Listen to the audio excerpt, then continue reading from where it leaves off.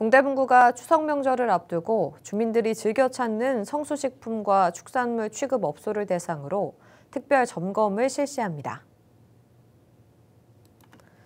점검 대상은 식품 제조 가공업소 2개소, 즉석 판매 제조 가공업소 4개소, 기타 식품 판매업소 2개소, 축산물 취급업소 약 70개소로 추석 전까지 점검을 완료한다는 방침입니다. 유통기한 경과 또는 무표시 제품 판매 여부, 사용 원료나 완제품 보존 및 유통기준 적정성 여부 등을 검토하고 특히 면류, 다과류 등 가공식품과 식품 가공품, 식육 포장육에 대해서는 불법 유통행위 근절을 위해 수거 검사도 함께 진행합니다.